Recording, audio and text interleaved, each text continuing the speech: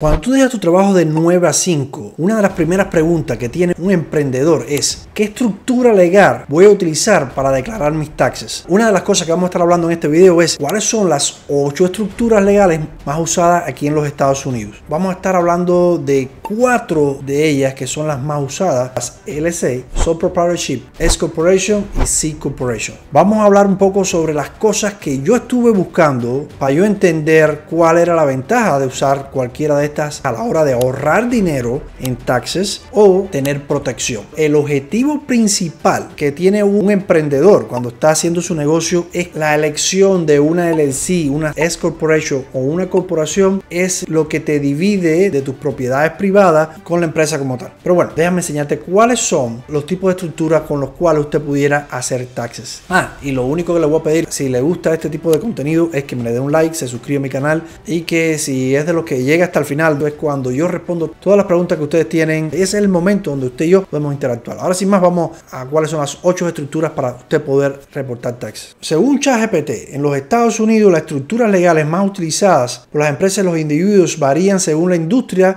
el tamaño del negocio y otros factores. Sin embargo, en términos generales, aquí están estructuras legales más comunes en orden de mayor a menor uso. El primero es el sole proprietorship. Son la forma más común de pequeñas empresas en los Estados Unidos debido a sus simplicidad y facilidad de establecimiento. La segunda más usada sería la corporación S, lo que se llama Small Corporation. Las corporaciones S son populares entre las pequeñas empresas que desean aprovechar las ventajas fiscales de una corporación al tiempo que pasan los ingresos y pérdidas directamente a los accionistas. Está la otra que es la empresa de responsabilidad limitada, lo que se llama la LLC, que bueno, estas empresas son utilizadas ya que tienen la flexibilidad y la protección de responsabilidad limitada para los propietarios, pueden ser tratadas de diferentes maneras para efectos fiscales. Es decir, si es dueño de una LLC, te puede declarar sus taxes como sole proprietor, como S corporation o como una C corporation. Esa es la ventaja que tiene la LLC. La corporación se utiliza principalmente en empresas más grandes y públicas, ya que pagan impuestos corporativos sobre los ingresos, aunque menos comunes entre las pequeñas empresas debido a la doble tributación potencial todavía tienen lugar en ciertos escenarios. Y aquí, bueno, voy a mencionar por arribita las otras que son la sociedad, que es lo que es la partnership, organizaciones sin fines de lucro, que es non-profit organization, la corporativa, que son los cooperatives, y las empresas extranjeras, es decir, personas que quieran venir de otros países a eh, invertir acá y bueno, tienen que declarar sus taxes. Como le estaba diciendo, una de las principales diferencias entre un sole proprietorship y una LLC o una S corporation o una corporación C es que estas últimas tres te hacen como un escudo protector a si alguien te va a demandar que no puedan ir contra tus cosas personales. Por poner un ejemplo, que así que tú tienes una casa de 500 mil y ya está paga, entonces tienes tú un equity de 500 mil. Si alguien te demanda a tu corporación y tú tienes una sole proprietorship, pueden ellos quitarte ese equity. Y bueno, para que tengas en cuenta, si tú tienes una casa y tienes una deuda de 500 mil, no es lo mismo de tener una casa y tener un equity, porque no tienes deuda de esa propiedad. Es decir, que si alguien me demanda, yo tengo una casa personal y debo dinero en esa casa, entonces no tiene sentido que me vayan a tratar de quitar una casa que no tiene equity. Y antes de seguir aclarando todas estas cosas, déjame dar un disclosure. Esto que estoy diciendo acá, yo no soy ni abogado, ni CPA, pero lo que estoy diciendo es por mis investigaciones que he hecho en mi experiencia personal, ya después de haber tenido una S Corporation, haber ido a varios abogados, tener varios CPA, los cuales he tenido que consultar todas estas preguntas más, me he guiado mucho por ChatGPT para poder esclarecer todas estas dudas que yo tenía y creo que pudieran ser de utilidad para ustedes. Volviendo al tema, cuando usted no tiene mucho dinero que perder, pues Sole Proprietor es la mejor. Y cuando usted no tiene mucho dinero que esté ganando la empresa, Sole Proprietor va a ser la mejor opción. Esa fue la primera opción que yo tuve hasta que después los abogados, por supuesto, para ganar dinero me empezaron a decir, oye, tú necesitas una S Corporation. Y yo, por curioso y porque no tenía nadie que me asesorara y busqué miles de videos en YouTube en inglés y no había nada que me dijera claro cuál era la opción mejor. Entonces mi segunda estructura legal fue una S Corporation. Pero la realidad, y ahí vamos a estar hablando de las desventajas de tener una S Corporation o una C Corporation, es que todo el papeleo que tienes que hacerle con un abogado para poder hacer esta estructura es bastante caro. Y la mantención de esta estructura también es bastante caro. Ya tendrías que ver a un abogado para cotizar, pero bueno, por ejemplo, mi experiencia personal, mi S Corporation costó como 750 dólares, más todo lo que tuve que pagarle al Estado por abrir la entidad y todas las demás cosas. Eso al final eran como mil y algo. Y eso era por una persona que me conocía y me hizo eso como supuestamente un favor. Pero puede ser que hacerte una S Corporation puede costarte más de dos mil dólares. ¿Qué otros costos tienes tú involucrados? Por ejemplo, tienes que hacer una W cuando eres una S Corporation o una C Corporation. Como tienes que pagar eso, tienes que tener una agencia como ADP para que te haga todo el pago al IRS. Porque hay formalidades que tienes que hacer cuando tienes una S Corporation y una C Corporation. Y tienes que pagar trimestralmente al IRS tanto lo que se reporta al empleado como que reporta a la corporación. Sin embargo, un sole proprietorship es un poco más flexible, aunque se te recomienda que vayas haciendo pagos trimestrales también, porque eso te puede al final del año dar una sorpresa a la cantidad de dinero que tienes que pagar al IRS y si tuviste mucha ganancia en un buen año. Y también tienes que mantener lo que se llama bookkeeping, que tienes que llevar la contabilidad obligatoriamente mensual o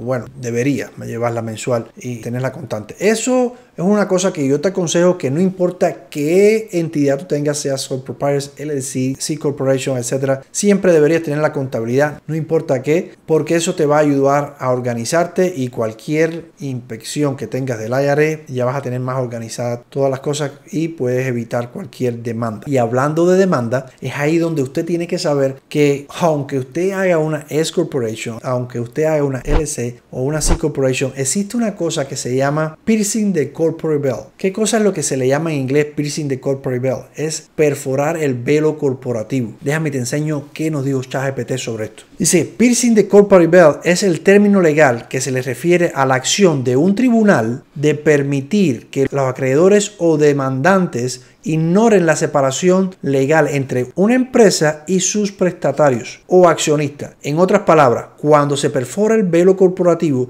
se trata de responsabilizar personalmente a los propietarios directos o accionistas de una empresa por las deudas, acciones ilegales o negligencia de la empresa, lugar de limitar la responsabilidad a los activos de la empresa. La mayoría de las empresas se constituyen como entidades legales separadas, como corporaciones o sociedades de responsabilidad limitada LLC, con el propósito de limitar la responsabilidad personal de sus propiedades o accionistas en caso de deuda, demandas o problemas legales. Esto significa que por lo general los propietarios o accionistas no son personalmente responsables de las deudas de las empresas más allá de su inversión en la empresa. Sin embargo, en ciertas circunstancias el tribunal puede decidir que es apropiado perforar el velo corporativo y responsabilizar personalmente a los propietarios o accionistas. Esto generalmente ocurre cuando se demuestra que la empresa ha sido utilizada de manera fraudulenta,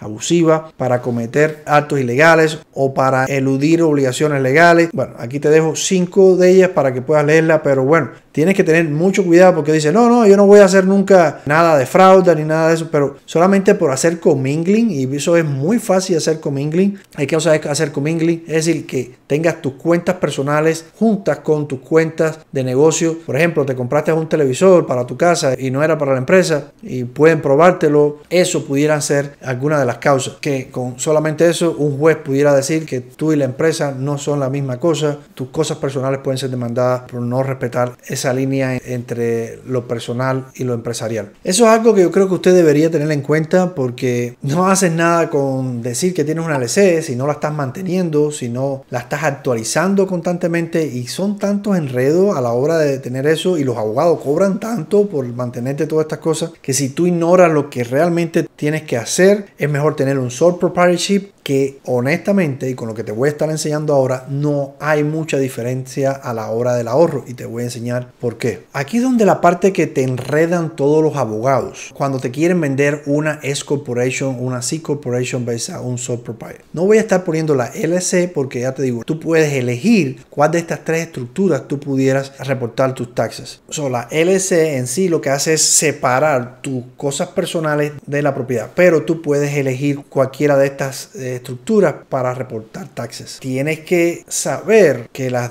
dos cosas importantes de tener cualquiera de estas estructuras, eh, una es para protección de la empresa o separación de tus cosas personales con la empresa y la segunda es la estructura a seleccionar a la hora de reportar taxes. Y bueno, esa es la pregunta que todos tienen. Bueno, Juan Carlos, ¿cuál es la que más me ahorro taxes? Eso es un tema que voy a profundizar en otro video, pero por arribita te voy a decir algunas cosas que quizás te puedan interesar. Una de las cosas que me confundieron muchísimo los abogados a la hora de estar haciendo todo este tipo de estructuras y pagarle bastante dinero para que me hicieran esto, es que decían que, por ejemplo, cuando tú eres sole proprietor tienes que pagar el 12% de seguro social y el Medicare también lo tienes que pagar tú, mientras que cuando tú tienes una S Corporation o una C Corporation, tú nada más que tienes que pagar 6.20 de seguro social y 1.45% de la ganancia neta. Hablando de ganancias netas, eso es otra cosa que usted tiene que saber cuando te están enredando con todo esto. Lo más importante que tú tienes que saber es que todas estas deducciones van a ser de lo que tú declares como ganancia neta. Déjame te explico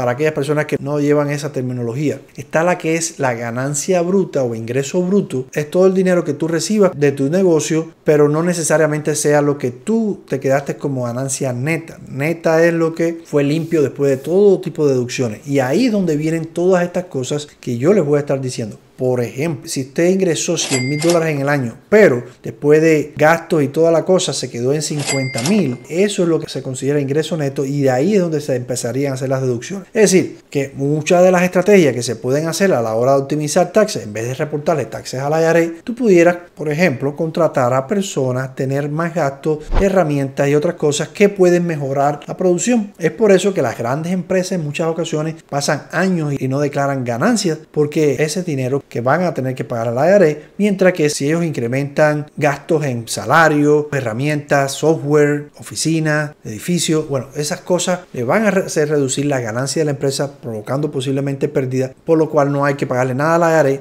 y bueno, las pérdidas pueden acumularse de un año para otro. O sea, ten en cuenta de que todos los números que te voy a estar diciendo ahora solamente son de la ganancia. Si usted tuvo cero ganancia, no paga impuestos, por ejemplo, en el sole proprietorship. Pero es diferente cuando tienes una S corporation y una C corporation. Déjame te explico un poquito. El ejemplo entre la comparación entre los números de una persona que tenga un sole proprietor, una S corporation y una C corporation, voy a hacerlo en otro video por cuestiones de que la explicación es un poco larga y no quisiera hacer tan largo este video. Pero puede muchísimas horas y de bastante investigación, yo finalmente le puedo dar la comparación de una persona con otra persona y estoy haciendo un software con mi equipo de inteligencia para que usted pueda sacar sus propias conclusiones sin tener que preguntarle a un abogado y sentarse por unas horas con un abogado y que le estén cobrando muchísimo dinero. Aunque siempre yo voy a querer ir a un abogado, pero por lo menos usted va con una noción. Una de mis experiencias con los abogados fue que empiecen a hacerme preguntas de cosas personales y toda la cosa y cuando viene a ver, ellos sí cuentan la hora que va a estar consultándose con usted. So, si usted se pasó la hora haciéndole el cuento del país donde usted vive y qué es lo que le gusta comer, él cuando suena la hora, él está cobrando su cheque y al final usted se queda con todas esas dudas que usted va a tener. Y esas son las cosas que precisamente, te voy a ser sincero, me ha costado muchísimo llamar a un abogado porque ellos te cobran por hora. Muchas veces te van a tratar de vender lo que a ellos les va a beneficiar más. Si le ha llegado hasta aquí y le ha interesado todo esto, lo único que le voy a pedir es que me dé un like, que comparte este video. Y bueno, vamos ahora a ver todas aquellas personas que comentaron en videos anteriores. Bueno, aquí tengo un comentario de Juan Manuel Rivera. Dice, excelente video, importante la explicación. Gracias. Aquí tengo a María Trinidad,